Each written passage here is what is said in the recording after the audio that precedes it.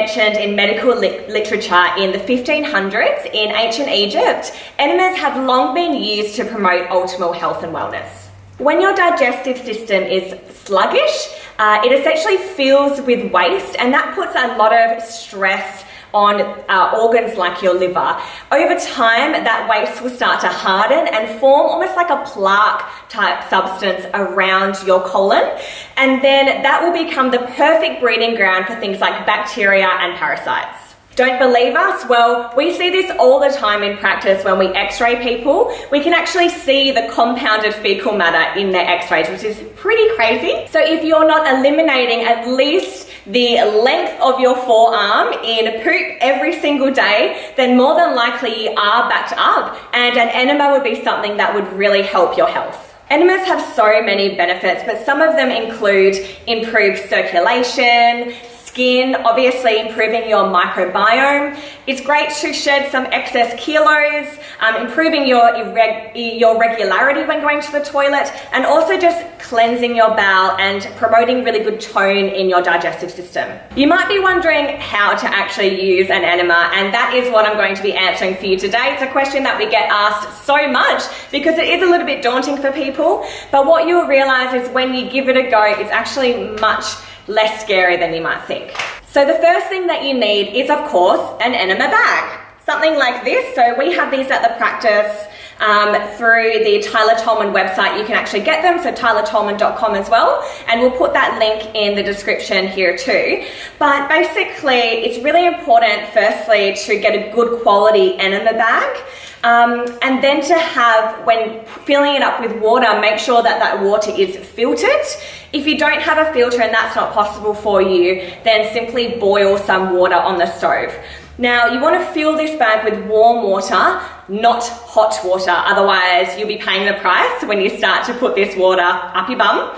Um, and essentially, that water needs to be just the right temperature so that you can submerge your hand comfortably. The first thing that you want to do is start with a clamp that is closed. So, most enema bags will have a little clamp on them. So, like this one here, you can simply squeeze it shut. Then you fill the bag all the way to the top to about here with that warm water. After that, you can add some Himalayan salt or sea salt. About a teaspoon is good. You might even want to add a squeeze of lemon. Just make sure there's no pips in there.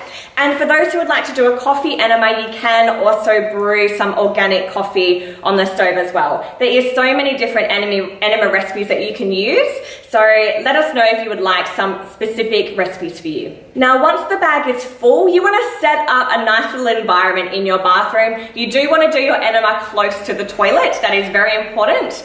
Put a towel underneath if there is any leakage of water. Um, put another towel under your head for comfort and maybe bring in some nice music, a podcast, or a book.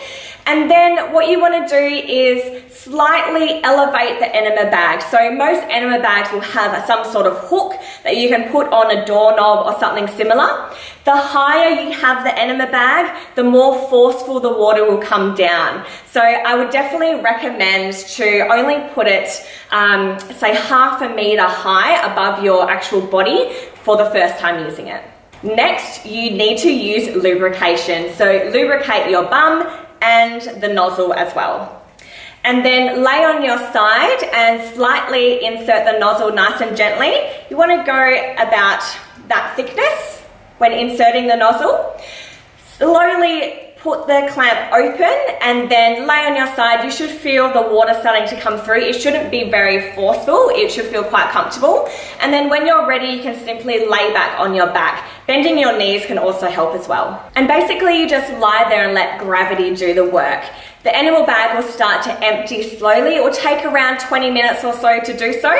Um, if you're feeling a strong urge to go to the toilet and eliminate, then gently pull the uh, nozzle out and go straight to the toilet, eliminate, and then finish off the rest of the bag. Some people might actually benefit from taking a full bag, eliminating on the toilet, and then doing another enema until the water runs clear. So it's as simple as that. When you're finished, make sure you wash the enema bag well, boil it with some water to disinfect it, and make sure you don't share your enema bags because that is a recipe for disaster. And you can do enemas A lot, really. Every fortnight or so is a really good general wellness practice.